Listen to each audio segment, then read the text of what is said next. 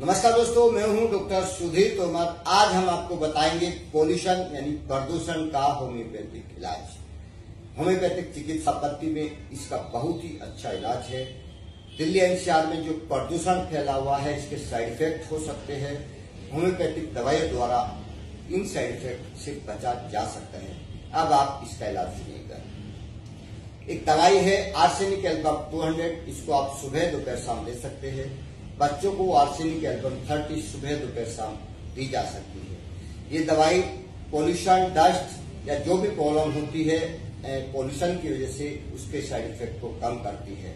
एक दवाई है इपिका 200 इसको आप सुबह दोपहर शाम ले सकते हैं। ये दवाई एज एंटी एक्सपेक्टोरेंट काम करती है।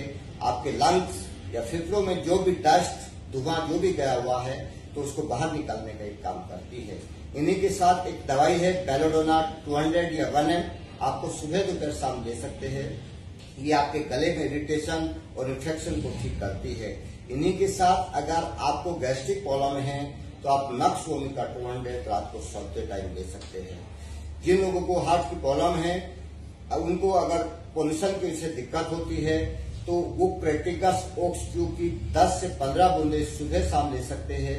क्योंकि क्रेटिकस ओक्स ट्यूब बॉडी के अंदर ऑक्सीजन लेवल बढ़ाती है।